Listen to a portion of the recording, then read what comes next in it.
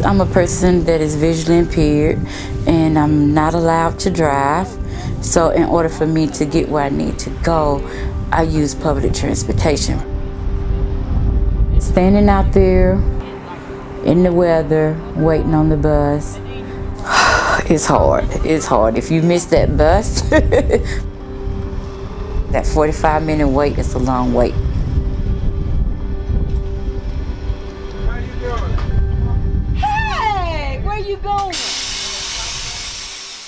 It usually takes about an hour for me to get from here to my job, and it's three buses. It would take a little longer to get back home because at some point, I, even if I make the the, the 215, I may not be able to connect to the 318. And usually that's like a 30 minute wait.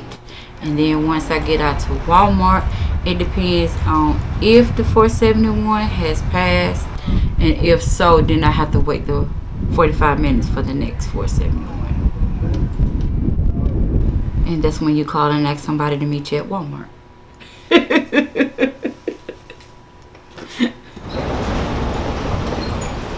I think the biggest challenge would be those connection times.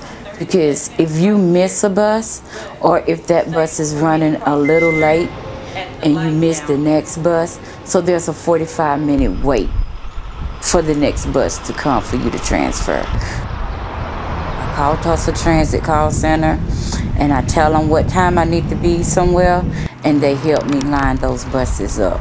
So the wait time is not so bad. But it's sometimes they just don't work out. but they're working on it. They're working on it. Being able to have more frequent service and run more frequent service is a big challenge that we have that would make a huge improvement to our system. We're providing the best possible service we could within our budget constraints.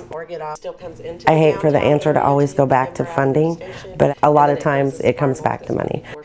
Um, we're going from the flag stops to the designated stops, which is going to help with efficiency and dependability.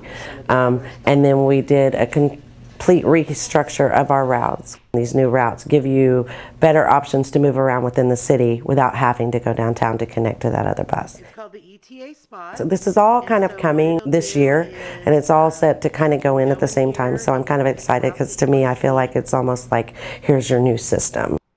That's a whole lot of change all at once, all in one year, all at one time, but it's all positive.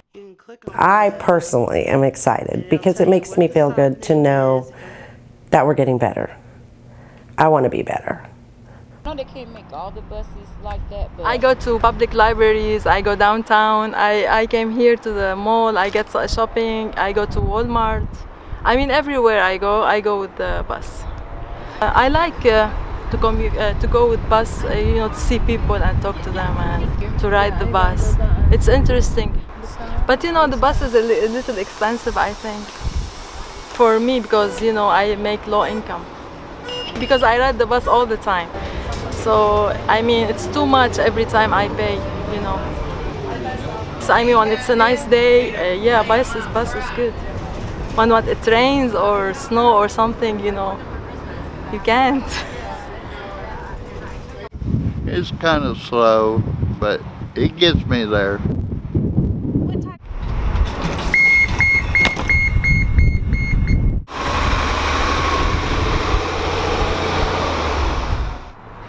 Well, once I got to the office, my coworker was there, so I decided to hitch a ride back home instead of catching the buses because it just a few minutes, uh, about 10 minutes at the most, depends on traffic, to get me back home from the office than to spend an hour to an hour and a half on the bus.